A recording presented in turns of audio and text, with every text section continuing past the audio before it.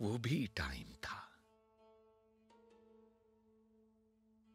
लेकिन उस टाइम का कोई मतलब नहीं था।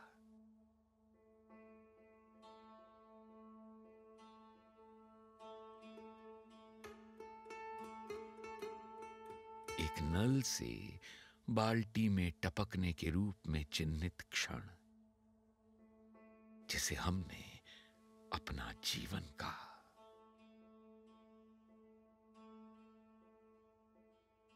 उस टाइम मेरे गाँव के लोगों ने मुझसे दूरी बना ली थी, क्योंकि वो बीमारी के फैलने से डरते थे।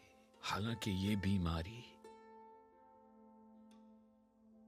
इसलिए मैं वहाँ से निकल गया और मुझे आश्रम का रास्ता मिल गया।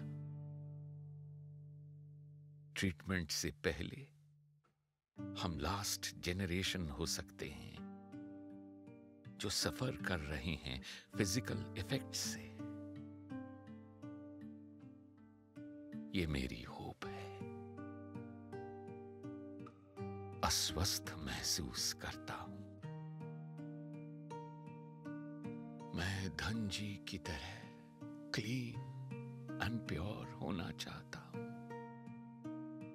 जैसे टाइम चलता है वैसे ही पानी भी बहता है। अपने शक्तिशाली वेग से वो भी सतत। कभी ना खत्म होने वाला। इसके अगले साइकिल में ये अगला जीवन है।